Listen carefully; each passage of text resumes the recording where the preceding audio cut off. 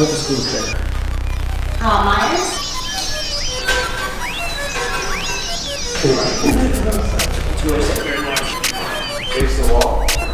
Alright guys, the workout we're gonna take these people through today is out of the top strength program and thanks to you. Reverse squat ladder.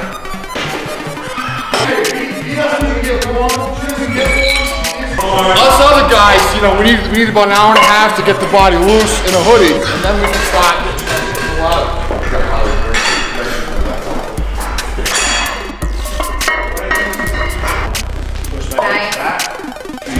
Good. Live in the burn.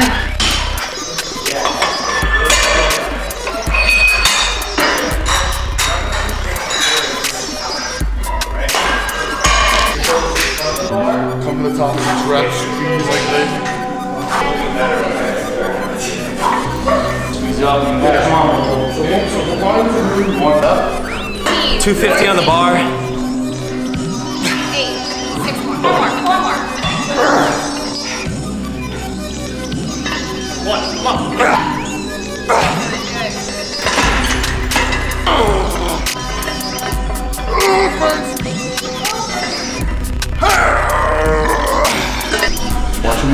Buckling, that's perfect. If your knees start to buckle in, open them up. So you can kind of change the weight you're to kind of approach like a given goal. So John's going for movement competency. Everyone has blind spots when Yeah. they train. Everyone. We all get caught up in what we're doing. We want to run away from the rep. Drive your heels down, squeeze your back.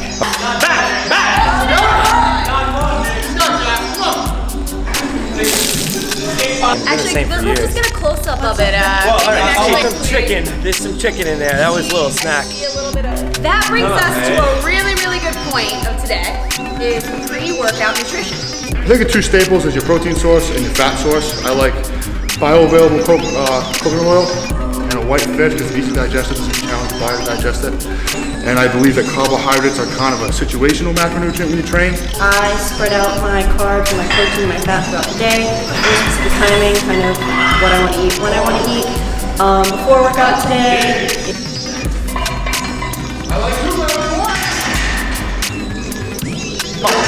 Back to me.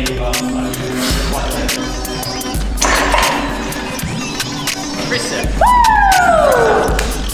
Uh, 90%, 515, final two reps. We're looking, uh, stay more vertical. Musty. Tend to go a little deeper. Okay? Musty. Come on, come on, Steve, one more. Last one,